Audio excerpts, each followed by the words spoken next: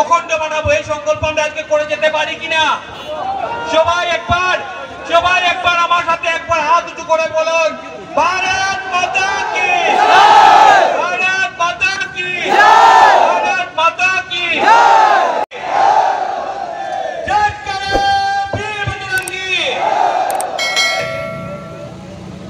অখণ্ড ভারত সংকল্প দিবস উপলক্ষে আয়োজিত এই কার্যক্রমে উপস্থিত